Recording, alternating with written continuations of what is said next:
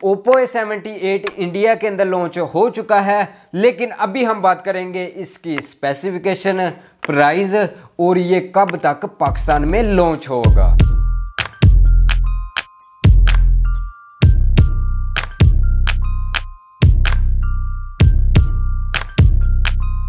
इस फ़ोन में हमें 6.5 इंच की IPS LCD मिलती है विद 720p की रेजोल्यूशन। लेकिन इस फ़ोन में हमें 90 हर्ट्ज का हाई रिफ्रेश रेट देखने को मिलता है। इस फ़ोन में हमें डायमंड सिटी 700 का चिपसेट मिलता है, जिसकी वजह से ये फ़ोन 5G है। एट जी की रैम, साथ वन ट्वेंटी एट जी की स्टोरेज मिलती है। बैक में हमें डुअल कैमरा सेट मिलता है मेन 50 मेगापिक्सल का, साथ 2 मेगापिक्सल का डेप्थ लेंस और फ्रंट पे हमें 8 मेगापिक्सल की सेल्फी मिलती है। इस फ़ोन में हमें फिंगरप्रिंट साइड पे मिलता है और ये फ़ोन टाइप सी पोर्ट के साथ है। 5000 हज़ार की बैटरी साथ 33 वोट फास्ट चार्जिंग का स्पोर्ट मिलता है। ये फ़ोन दो कलर के अंदर आता है एक ग्लोइंग ब्लैक और ग्लोइंग पर्पल जैसा कि मैं आपको आगे बता के आया हूँ कि ये फ़ोन इंडिया के अंदर लॉन्च हो चुका है और इसकी प्राइस वहाँ पर